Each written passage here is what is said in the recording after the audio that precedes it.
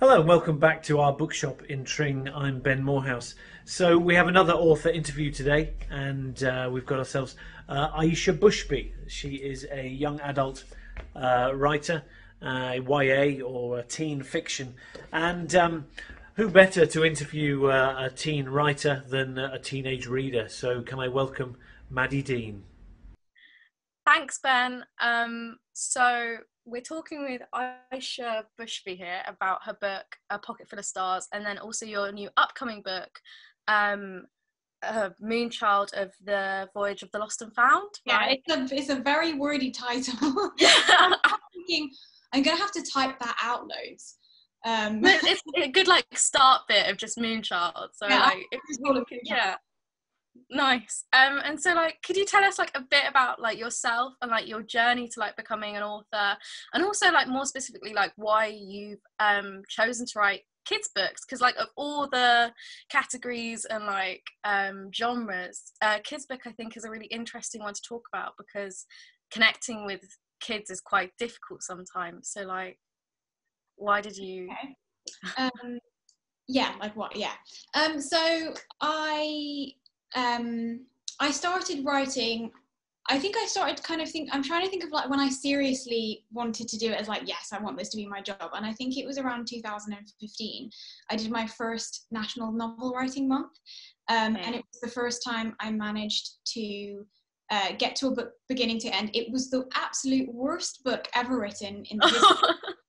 and I think my my dad has a I'm pretty sure he has it on his computer, and I think he once said, "I've got this. I can use this on you one day." And I'm just like, it's, it's Good blackmail material.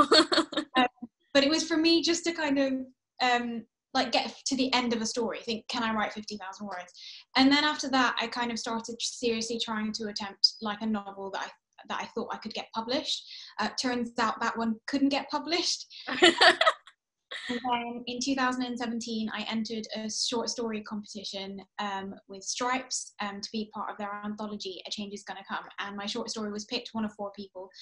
Um, and then from there, I, I wrote A Pocketful of Stars quite quickly. Um, I think I wrote it over like six weeks. Um, wow. Yeah. After, after that got picked, I think it gave me the confidence to think, okay, I can I can do this. And um, it was contemporary and it was different to the book I'd been writing. So I kind of sort of found something that was like along the same lines, a similar like voice, and I kind of went with it. And um, then A Pocketful of Stars was born in 2017, and then obviously yeah. you've got a couple of years um, after it gets taken on by a publisher.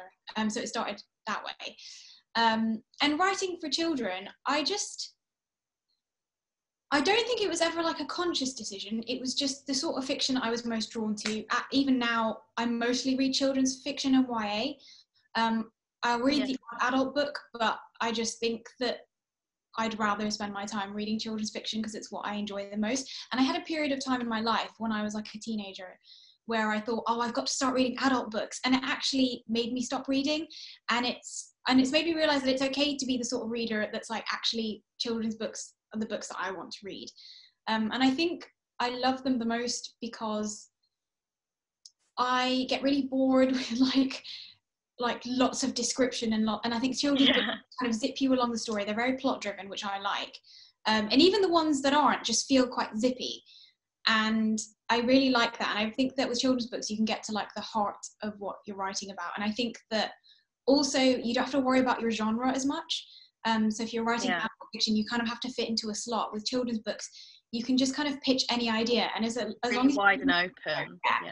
and i think a pocketful of stars if i age that up i don't actually think that would be taken on as an adult book because it's a it's a weird mixture of like a few different things well so it's a really like interesting age range i think that you've uh, written for. I mean, probably not a conscious de- decision in that sense, but I was kind of slightly um, not nervous about reading it, but I can get lost like lo- lose interest in books very quickly but the more i got into it i just, just was so much more drawn to it and i feel like as the character grew and the plot grew that it kind of and kind of grew up in a sense I kind of got more drawn in as a maybe an older reader, which was really interesting for me. And I ended up getting really um, attached to your main character Saf like I, as i said to you earlier i um before the in- interview started that i actually cried at the ending because it's just such a pretty and beautiful but almost sad ending um and yeah it's just really interesting how you've kind of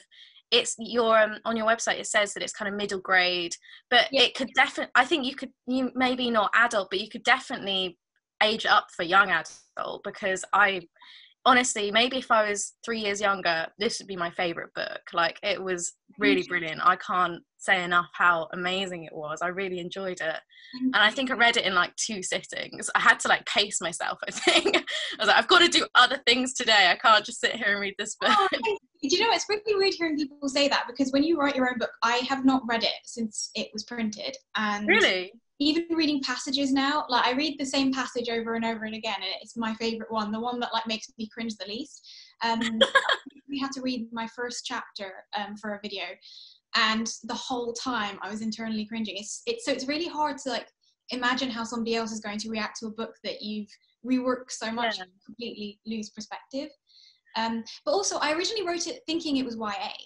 So oh yeah, you say that. So I, I had no idea really where. I just knew what the story was, and I think Safiya was meant to be in sixth form, but I think my voice was just younger naturally, and so I, I kind of, I kind of moved things around and kind yeah. of some of the issues that she goes through. Um, so it did age down. I think it does definitely work for that, just in terms of how she deals with some of the things that happen throughout the book. Is it is quite it does take on that child almost kind of naivety towards things. Yeah. So I think definitely I think the right and kind of for me, yeah, um, because I was kind of tasked with aging it down, and obviously the subject matter is quite hard hitting. So I had to sort of think of a way to present it in a way that didn't feel like so depressing.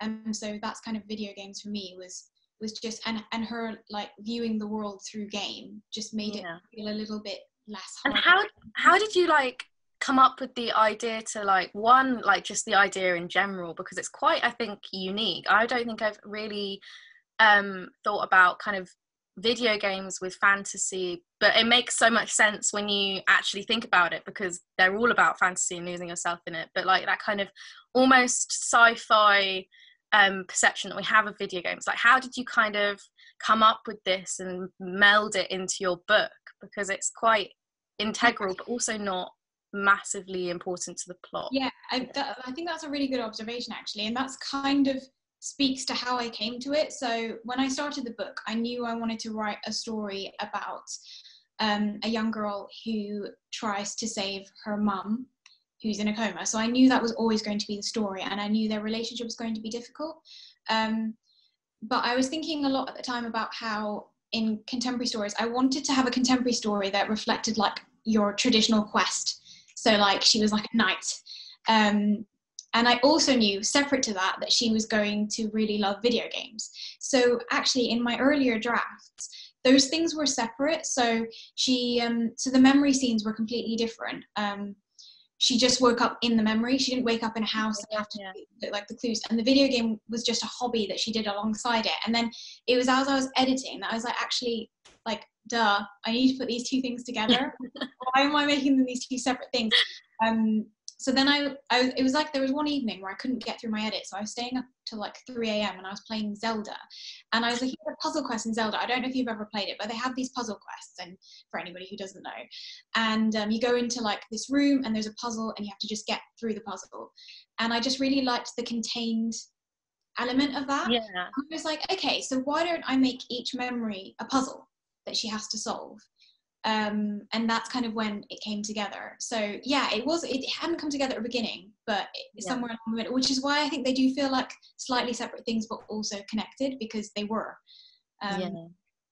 And so, like, as you with the kind of progression of like you melding the video game aspect to the kind of quest aspect, how did you like find that Saf's personality and character developed as you were editing because she's quite a, she's a very complex character I think yeah. for young white young adult I mixed that up then but for yeah. young adult she's a very complex character and I think that's really interesting that you managed to do that with a, a character so young I feel and maybe that's to do with the fact that you had her originally in sick form really I, I really appreciated how like complex she is and how she doesn't know her feelings sometimes and is really kind of anxious about certain things like how did that develop as you were writing and so I, editing so I tend to not really plan my first drafts. Um, so I kind of just I know you know usually the, like the beginning, somewhere along the middle, and maybe the end. Sometimes not always the end, but I know kind of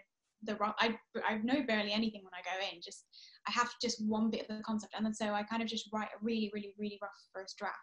So I didn't really know who she was, and I don't think I all the time. With Moonchild, it was much more conscious, but with A Pocketful of Stars, I wasn't so conscious about what she was. And actually, it took early readers to be like, oh, so she's really quite angry about things. I'm like, oh, yeah, I guess she is. Um, and it's weird. It's, it takes other people to point it out to me yeah. um, sometimes. Um, I guess for me, I base a lot of my characters on a few different people, but not like their entire personality, just like an element of their personality. Um, so for me, part of her is based off like myself, but also there's another part of her, the, the part that like really struggles to speak and is really shy, that isn't like me at all, but is like people who I really care about, who are really close to me, and I see them kind of struggle yeah. through it. And so it was really important for me to kind of also show that that people people have range. Like we, you can you can seem confident and loud, but also be nervous about things. And I, it's really important for me to have characters that aren't just like oh if she's shy and like lean into the stereotype of what being shy is or yeah. i really i really liked her kind of the internal monologue of her as well. Like she would say um this is what i'd really like to say but the words just can't come out. And i i i'm quite a confident person so that's not necessarily how i think of things and it kind of gave me a different point of view of how maybe someone else would be feeling in that situation. Um, and even we're me and Saf are very different personalities. I mean, she's a character. I'm talking about her as a person. I'm like, wow, I've really, I'm really attached to this book now. um, but even I kind of had some kind of connection to that. Not necessarily the internal monologue of being, oh, I wish I could say this, but just some, sometimes her nervousness about having to confront certain things. Um, yeah which I think is a real skill. I think getting people to connect to characters is brilliant, and especially in YA. um, yeah. First person helped um, get into her head a lot more because Moonchild's written in third person, and I really, really struggled actually to get into my character's head because I was just describing what was going on around them, and I had a whole draft where my editor was like, "Can we just get a bit more what she's thinking and it took me a while to figure out how to get into my character's head in third person but i think yeah first person feels like a diary to me. Um, yeah. So to me, I was just kind of, I it's it's so natural to me to write in first person because I just think you just write down everything you would observe as you go along a situation. Um, yeah. And I didn't have to worry so much about what was going on around her. So I think a lot of it is focused in her head, which I think can feel claustrophobic at times, which is why I struggle to read it back. Yeah, yeah quite intense. Especially if you kind of modelled her, obviously not the, sh- the shy parts you said, but if you modelled, gave her some of your personality, it can be quite jarring to see yeah, your personality on paper kind of written out for you because that's quite a weird thing, isn't it? Like I had a friend read it and said, "This is you," and I'm like, "Oh, it's not really entirely me." and when you come to the realization that you know I wrote this story and you don't obviously I was hoping it would get published, but you don't really think about it and then suddenly it was like oh okay so there are going to be people who are going to see my brain and it's really weird. Yeah and especially with the as you said the first person it being almost a diary that can be quite personal and like emotionally driven. And so um one of my questions again was um did you feel like your it was did you feel your personality was with Saf but like did you experience some of the things that Saf went through? Um yeah. like maybe with school or with your parents and like how is that how did that influence your writing with Saf like, yeah quite a lot actually for this book. I think for my first book it was like write what i know and then yeah. and then i kind of i just needed to get that one out there. uh, so there's different bits. I Get that one out of the way. needed, there's just something I needed to just kind of purge into this book and kind of get all the, all of, all these kind of experiences into a book because I think that actually there's a, like a few different things she's going through. So my parents divorced when I was quite young, um, and I just and also one of my parents was from Kuwait, the other one's from Canada, but I lived in England and I moved from Kuwait. So it, it was really important for me to have this kind of, again, just show that like there's there's so many different elements to her life and that she's kind of torn between the two because that's how I've always felt. Yeah. Um, and then with the friendships, I wouldn't say it necessarily reflected friendships I had at school.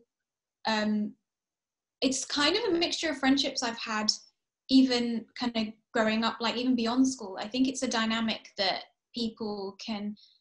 I think even adults have experienced that dynamic with a friend where you're like the sidekick and and just having to having to kind of balance that out. So I think for me it was it wasn't necessarily something that happened to me in year eight or or anything like that. It was just something I've I've felt sometimes with friends. Yeah. Um, and I then, think- Sorry. what were you gonna say? Well, I was about to say that I think that you really capture that that feeling, but also in a way that is relatable to children in that kind of year eight setting of, oh, you're because it as you go through year seven to year eight, it is quite a transition that I'm not sure many people talk about because you do find that people then find themselves in secondary school and they move on. Um, and de- dealing with that is quite difficult. And I think you really capture that kind of nervousness about moving on and having to make new friends when it's not necessarily the beginning of that year. And I think everyone assumes that you make all your new friends in year seven, but it's actually that period between year eight, year nine, kind of year 10 that you really make those connections. And year seven, actually, you I'm speaking from experience, obviously, um, but year seven, you kind of hold on to the familiar because it's so different and like big. and you're still kind of getting used to the new environment. Yeah, I think you perfectly capture that kind of um, nervousness that we think you should have in year seven, but actually comes later. yeah i think also that isn't kind of you that's something i've experienced at lots of like the, the big moments in life um so when you finish school and you're in your first couple of years of university again sometimes it takes a year or two to kind of make those new friendships and sometimes unfortunately it's a year or two into that new experience that you lose those other those kind of friendships from your kind of Yeah. part of your life same when when i got my first job like you see a bunch of friendships just kind of like come in and out of your life in that way and it is always around these kind of key moments but it's never when they're happening it's always a little bit after Yeah. and i think for me i wanted to just talk about making new friends as well because i moved schools quite a lot when i was growing up so i always started when friendship groups were like established already um so i kind of wanted that feeling of like where you kind of feel like an outsider because you've come into something or Yeah. there's definitely. just something about the dynamic where you're like, I know I don't quite fit in. Yeah. Um, that was something I always felt just because I was always new. Um, so yeah, I just kind of wanted to, to talk about friendships in that way. And then kind of the stuff to do with hospital was stuff that I'd personally gone through a couple of different experiences in my life and grief. And I think that one thing that struck me about grief is that it's just not what you think it's going to be. Um, it's so much more complicated than just feeling sad and crying. Um, Yeah.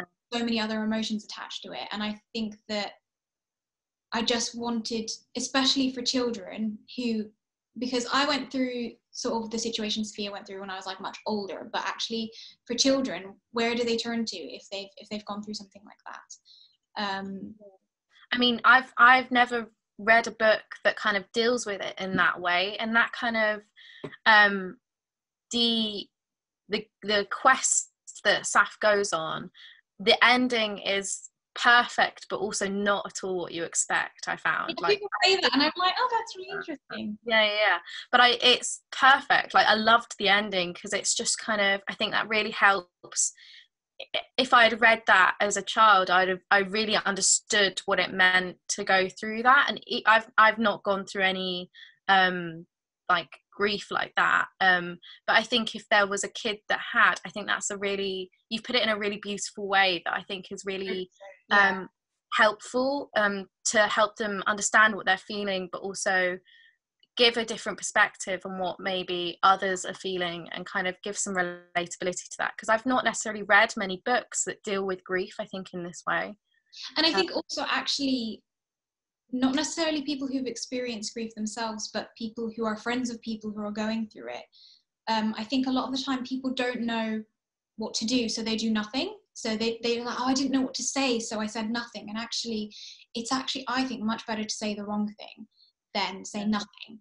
Um, and so what I kind of would hope that for people who haven't experienced it but know somebody going through it, that it would help them know what that person might need. Yeah. Um, but also for me, it was really important to show that like you can be going through this horrible thing, but there could also be good things going on in your life. And yeah, like life goes on outside of that. Yeah, and it, and it really does. And you can actually you can experience happiness about things at the same time as feeling sad. And I think sometimes we feel like it's one or the other. Um, yeah. But I mean, a lot of people spend a huge majority of their life having to grapple with both feelings. And I just think that, yeah, it was important me to show that she could have that full range of emotion.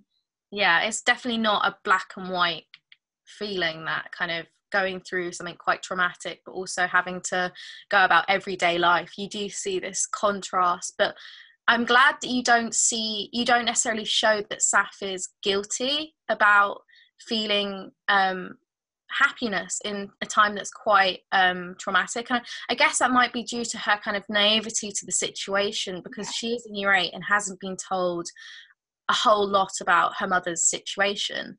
But I think it's really refreshing seeing someone accept that they can be happy even when they're going through that kind of traumatic. And I know it might be different for every single person, but I think so often you see that people feel guilty about being happy or go, having exciting things happen to them while something else is happening. Um, and so I, I really appreciated that, I think.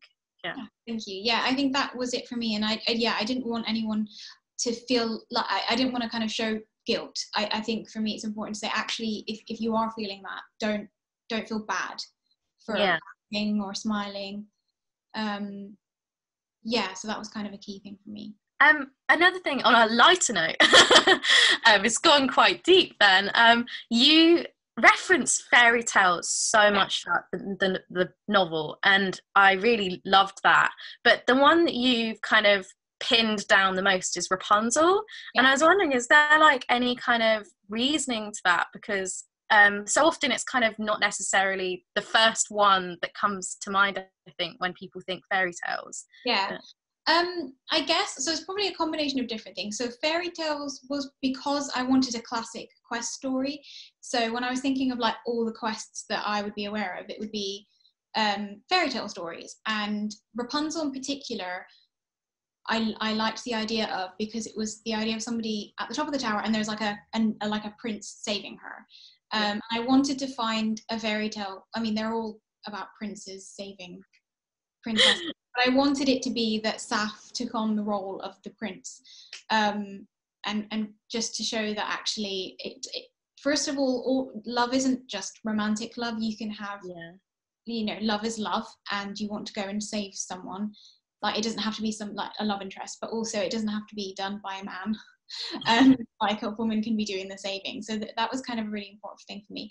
Rapunzel was a mixture of different things. One because I like I'm obsessed with the film Tangled, so it's just one that's on Me my mind. Anyway. That's a good movie. yeah, I just love Tangled, um, and so like that's on my mind anyway. So when I'm thinking of Rapunzel, I'm actually thinking of Tangled, which is probably really bad because I should probably be like thinking of the actual fairy tale, but I do. I'm thinking of Tangled, um, but also um, hair. It was just like a big theme for me in Kuwait. Um, hair is a really big deal um, having really long hair. Okay, uh, yeah. uh, there's, like a, there's like a dance that you do where it's to do with like swishing your hair around. I don't know how to explain it. And also, my hair is too short. Yeah. To, to, illustrate how it works, but like hair is just a huge part of the culture. Um, to the point where I was not allowed to cut my hair short, and I rebelled as an adult, and it's now like, yeah. longer than it should be because I can't get a haircut at the moment.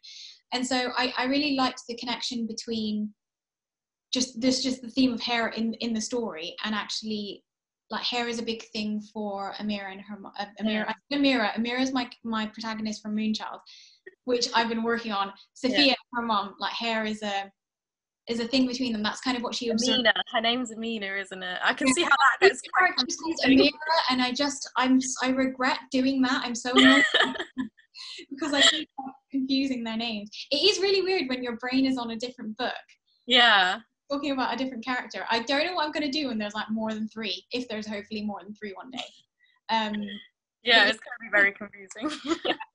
I think yeah, hair is just something that um, connects her and her mum. Um, and so I kind of just wanted to play with that theme a little bit. Yeah, and you talk about how hair is important in Kuwait. Like, was it really important to you to have that connection that she goes in her kind of quest? She travel or goes to Kuwait and yeah.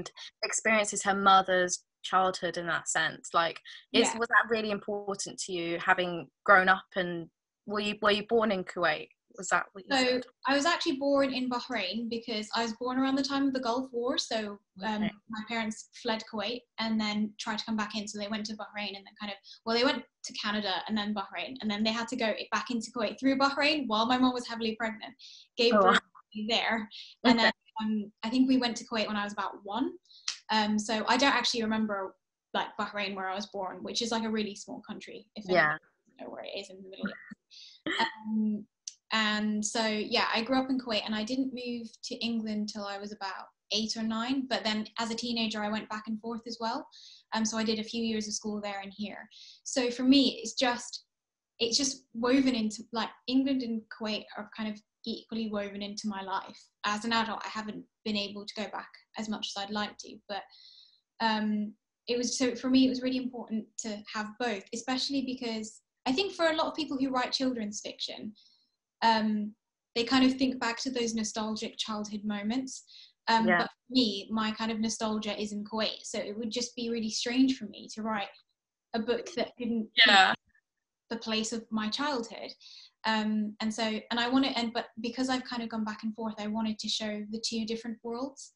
Yeah. Uh, so yeah, I mean, it was yeah, Kuwait. It was never gonna. I was never gonna not have that. Um, you really kind of um, integrate the cultures really well. And something that i really appreciate as well with your book is the fact that you you you it's so familiar to you that you don't overtly shove it in the reader's face i feel like this kind of cultural change you really subtly weave in these different i think the main thing that stands out to me is when um, saf goes and it's this feast scene and her mother's i think um, talking to her mum um, and there's all this lovely food set out and you just kind of mention it and it makes me go oh that sounds really nice and really tasty but like you kind of you don't make the culture change really overt, overt. You really quite have it really seamlessly i think and i really appreciated that because it's not um jarring in any way even though it should be because she's going back and forth between these two places. Um the contrast is actually really soft and i think that's also to your lovely imagery of the house. Oh i honestly so gorgeous your imagery of the house. Like i could imagine it in my head and i was like i want to go there. Like when we're not, we're not no one's going on holiday at the moment i'm like that's where i want to go. Well that's based off my granddad's house in kuwait. So every everything that features in my book is always based off a place that exists. Even in moonchild it's they're on a boat but like I think I would roughly imagine my living room because it's quite small. So, like, I'd imagine the cabin being my living. I have to. I, that has to be something that I've visual there you yeah. can kind of build off of. Yeah, and mm-hmm. like talking more about your writing, like, um, are you do you find it necessarily difficult to write something that you then don't have that visual kind of representation for like in your head? Or do you kind of just start with something and then go with the flow and then suddenly it moves into the next chapter and stuff? It's a weird mixture. So because moonchild's high fantasy it's a lot harder to get the visual references um, because i'm making them up. Yeah. And they're always based off reality or based off like somewhere I've visited that I'll take a photo of and be like, okay, so if I want. So in Moonchild, um, it's set at a port and uh, you kind of go uphill. So I have like a photo of a place where just to see how the houses cluster as they go kind of further up a hill, but then I'll yeah. paste it in with something else. So for me, it's about like literally creating a collage of like lots of different things and then making them a new thing. I, I don't know how I would just completely do something that I've not seen before. But um, I write, I tend to imagine it like a film. Um, and it will be all these things that I've collected then some start yeah. to play out together. Um, so that's kind of how I work through my descriptions is I just kind of imagine I'm in a film and I'm just describing what the film is doing. Your place are you placing yourself like in the scene and like what yeah so it's from my perspective when i'm writing it i'm in the character's body in the film or like a like in a video game so when i when i go to yeah. school I always tell kids to imagine when you write like you're playing a video game so it's kind of what's going on around you in your immediate vicinity yeah and what would you notice yeah um and like coming off of that do you I mean, this might be a stupid question, but like, do you experience writer's block? And like, how have you, what techniques have you curated, I guess, over the course of writing two books, like to overcome that?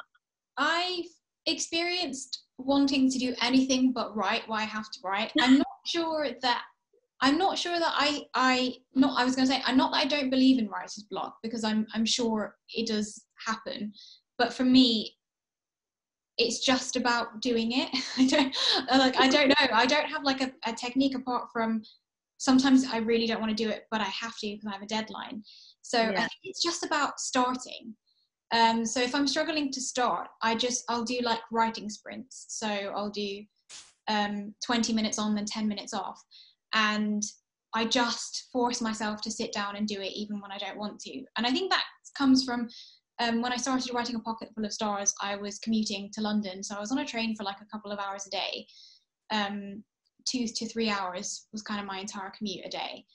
And I would come home exhausted, but I had to get my words down. And I think it's just about like, and even at university, I, I learned like I had to juggle a few different jobs while yeah. studying. And I think it's just when you're used to having to squeeze so much in you just realize that you, you have to there's just yeah. there's just no option but to do it um so i don't know i don't have tips apart from it's really great to go through situations where things like that are a necessity because you realize you don't really have the luxury to not do it yeah and just quite practical I'm, I'm quite a practical person in that sense that i just do what i have to do um, so yeah, that's not very helpful. But I think writing, writing to get you going and just start and and then you'll carry on. Oh yeah, brilliant. Um, uh, I'm kind of I've said a lot of things and I'm trying to think of what I've maybe not said because I've like kind of just piled it all in. yeah, you kind of end up doing bits of different questions. Yeah. Um, can you maybe just tell us a bit more about Moonchild because that's coming out this August, isn't it? Yes.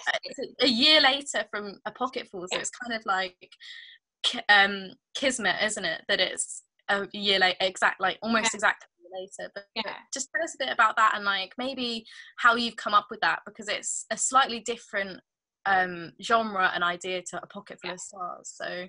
Yeah. So um, when I was contracted, I was contracted for two books. So I always knew I had to write something else, and I actually really, really struggled to come up with my next idea because after I finished A Pocketful of Stars, I was really trying to find ideas that was kind of similar to that book. Um, and I and I, but then what I ended up doing was just writing like really cheap imitations of it. Oh, yeah. Weirdly plagiarizing myself and making it worse. and so I had like about four drafts of different books with like one with a few thousand words and i think i got as far as 10,000 words in one draft and it's just it wasn't working i couldn't put anything together but alongside that, I had a fantasy idea. Um, I've always wanted to write high fantasy and I've always wanted to write a, a series. Um, but it was something that I was like, well, this is too different. I can't do that with my next book. And so I was writing that alongside it. And I found myself being more drawn to that than the book I was contracted to do, which was really naughty. Um, so I, I said like having to like I on the one hand I'm saying in my like in the previous question that like oh you just have to do what you have to do. Yeah. Like doing this other project i was you're writing a whole different book yeah. um, and then i finally kind of spoke to my agent i was like look i cannot and i think for me a pocketful of stars was really draining process. It's really really draining to write a book like that. Um, i'm really glad i did it um, but i think part of what was stopping me was I just couldn't get in, into a headspace like that again. It was just a bit too much. It's very deep and um, mentally. I get what you mean by mentally draining because it's just you have to be in the definitely the right mindset to read it. I think and get through those difficult bits. So. I didn't realize it put me in a completely different headspace for about an entire year of my life. Um, and I was just like, I don't really want to go back there. Like I just, um, because because you because if you're editing and re, like re-editing it, like you're you're just going back into that place over and yeah. over again. Um, Especially so, personal experience, you're just kind of re-going over those. It, and it was just it was just a really and it wasn't something I realized was affecting me that much till I came out of it and I felt like relief and I was like, okay, do not want to go back there uh, for a while at least. So yeah. I kind of said to my agent, I, am it's not working. Can I just pitch this fantasy idea? Not thinking, I think I thought my publisher would be like, no, it's a bit too different. But they were really up for it, which I'm really, really grateful for that they were kind of willing to just kind of jump in. And I think they understood that A Pocketful of Stars is a sort of book that like what do you write after that that feels yeah. like it and it just rather than trying to force a book to be like it they were just like let's just take the bits that make you aisha the writer and, and put that in a different genre they were like okay with that um, and i think because a pocketful of stars has magical elements they kind of let me let yeah. me that route um, and yeah so it kind of started from that and um, it's high fantasy. It's based off the Arabian Night stories, and I think that kind of came off the back of I see a lot of stories that are based off European fairy tales, um, and I was like, that's been done. Um, yeah. so I wanted to kind of write a, a, series of books based off the Arabian Night stories, um, and just stuff that. So I hadn't read them as a child, but I'd known kind of bits and pieces growing up. There's a lot of like superstition in my family in Kuwait, and so I'd hear bits and pieces um, of that growing up, and it was really interesting to then read like kind of the origin of where that that came from, and kind of see how like that was different. And so I wanted to play with that a little bit and um, play with the structure. So there's like a narrator. Um, and you don't know the identity of the narrator, and there's like stories within stories, which is which is all to do with like the Arabian Nights. I really like how it's structured as well. So I yeah. want to play around with that. So it, again, it's me kind of using other source material because I'm clearly not original enough. but um, yeah, so yeah, that's. So I'm I'm definitely going to be uh, reading that. Um, having read a pocketful, I really love your style. I think you've really kind of nailed down your writing style and like how you write. And the chronology of um, a pocketful of stars, I think, is interesting. The fact that she does the, it's these flashbacks um, yeah. when she goes into them, but they're obviously of her mum. And like, I think that's a really interesting style that you've got with her kind of narration of watching these flashbacks. I really enjoyed reading that. Um, and so, yeah. Um, uh, what was the most challenging aspect of writing A Pocketful of Stars, and what was the most challenging aspect, maybe in contrast, of writing Moonchild? Because they're very different books, and like yeah. yeah. they were totally different experiences moonchild i managed to pull together in about like nine ten months pocketful of stars took me like a couple of years all in all but um well it's part of the chat apart from like kind of the subject matter which just got me in a really weird headspace um putting like you said the flashback chapters. And i think that i think when you really try like i don't think people realize how difficult it actually is because there might be oh i need to change this one thing about this scene and then it's like oh it's not relevant to the flashback anymore. And i had to sit with revision cards over and over again and just move the flashback chapters around so everything lined up but didn't line up too perfectly. So i wanted everything that happened to Safiya's mum to sort of reflect what was going on with her but i didn't want it to be so i didn't want it to reflect it so much that it became predictable and i yeah. wanted to kind of show that they're separate characters and then also just kind of throw in a few surprises. And there's a lot of like subplots in a pocketful of stars. If you break it down to like the technicality there's loads of little subplots yeah. relationships that she has to tie up. So at the end i had to tie everything up in it just literally was just like sewing together or something and it's like right i've got that and i've got that. Oh i forgot that thing. And yeah. it was just such a complicated structure that it just there were days where i was just like it's not going to come i don't want to do it anymore. Yeah.